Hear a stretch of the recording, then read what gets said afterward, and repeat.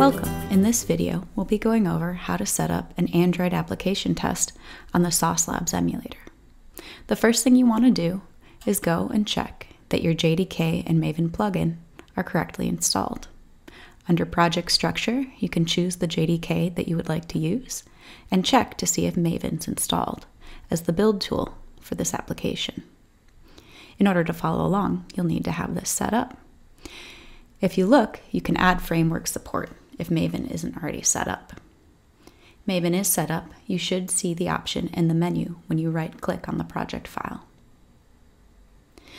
The first thing I'm going to do is commit this to GitHub so that my tests don't show up in red anymore. Once you have your JDK and Maven configured, you'll want to invalidate caches and restart so everything can take effect and the files can be indexed. Once everything is loaded again, make sure you have your Appium server running, as well as an Android emulator that matches the version in your code. Run the basic test first to make sure that everything looks correct. If you look in the POM XML, it should reference the testng XML file for the basic test. Run Maven clean test and watch as the test results populate and the tests are run on the screen.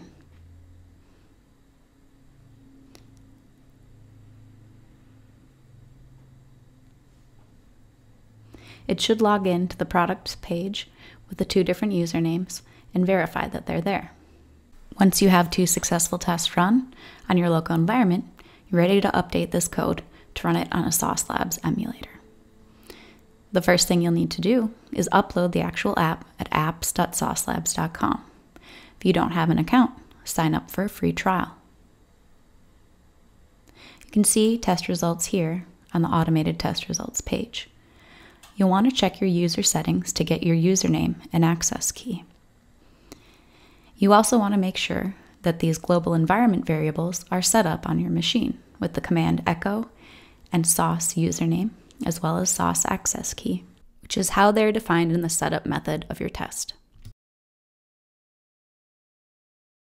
To run a test against a mobile app, you have to first upload it to the Sauce Labs dashboard under Live Mobile App and choose the App Upload button. Get the Android APK app project file from where it's stored on your local machine and upload it to the dashboard.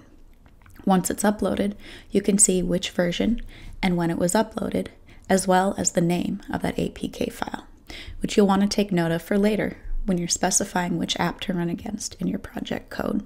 Now you're going to take the test code for your Android app written in Appium and converted into code that can be used to run against the Sauce Labs emulator.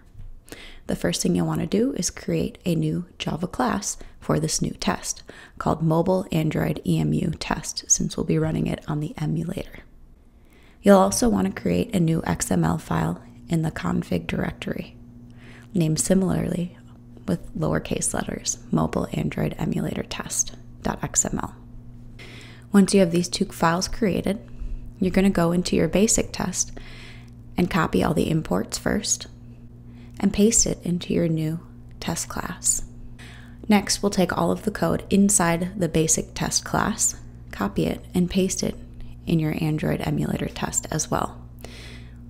Last but not least, we're going to copy what's in basic test XML and paste it into the new mobile Android emulator test XML file, then update the test name so that when you use this XML file, it'll run your mobile Android emulator test. Last but not least, go into the POM XML file and under testng XML file, put in the name of the new XML file so when you run Maven clean test, this test will run.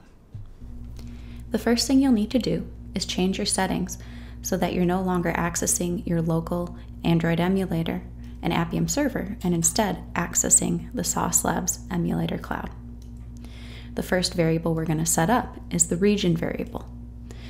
Sauce Labs has different servers that you can access.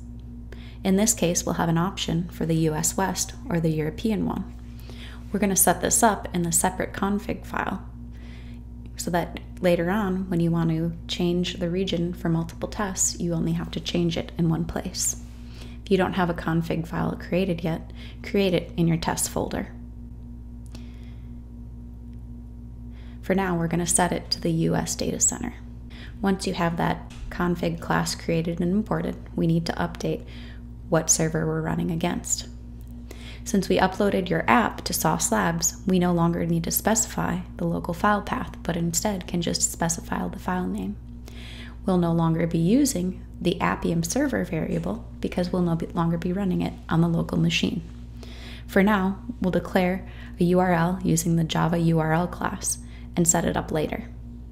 Now, you will set up to connect to the Sauce Labs remote emulator, creating a URL that you will use to connect with your Sauce username, Sauce access key, and the name of the data center. The first thing you'll need to do is create variables for your username and access key that pull the environment variables that you had set up for your Sauce username and access key. The next variable that you need to set up is which data center you'll be connecting to. We're going to use an if else statement that will detect if the European data center is specified, and if not, will default to the US West data center. Next, you'll set up a variable called the sauce remote URL, which will allow you to access and run your test against all the devices in the Sauce Labs cloud. You'll create this URL using the variables that you just created, stringing together the HTTPS, username, access key, and data center, as well as specifying a port. Next, we'll use the Java URL class that we instantiated earlier to declare the URL that you'll be running your tests against using the sauce remote URL variable. Now that you have the basic credentials and URL set up to access Sauce Labs, the last thing you need to do is instantiate a driver using those URL and capabilities.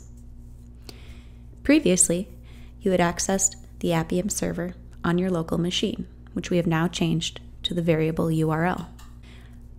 All you need to do is update this in the driver instantiation, and we can move on to updating the capabilities so it will run on Sauce Labs.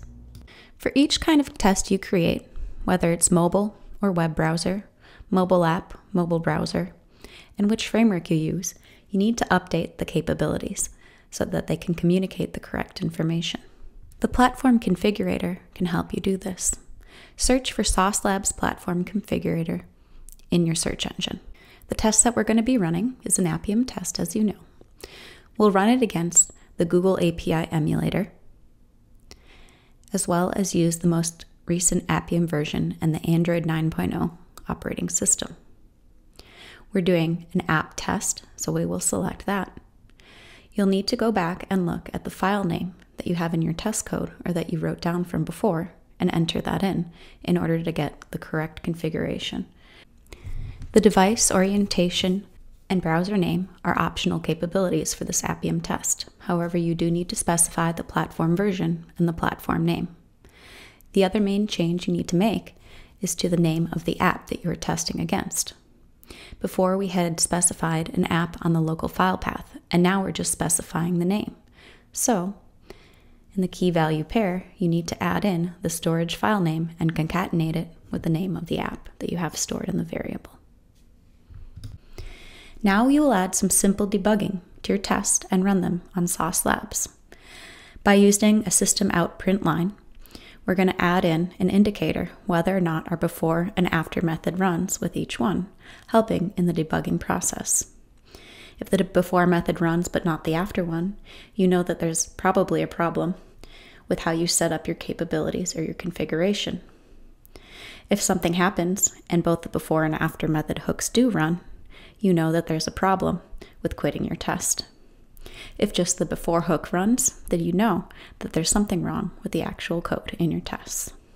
Now that everything is set up in your POM XML, testng XML file, and your test code, you can run the command maven clean test in your terminal to start the test suite.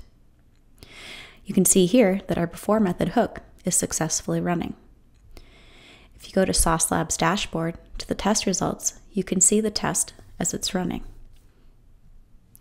You'll see a play-by-play and visual of what's happening in the code, as well as see a list of all the events that occurred during your test once your test has finished running. The Sauce Labs dashboard gives you key insights and makes it easy to understand what commands are running and what's not going right in your test. It will also give you alerts if you haven't configured things right or set up your capabilities incorrectly to run your tests on Sauce Labs. As you can see, both our after and before method hooks have run. To learn more about debugging and test automation in general, visit training.saucelabs.com and visit the Quick Start course to learn how to run tests on mobile web browsers, do better test reporting, and run tests in parallel.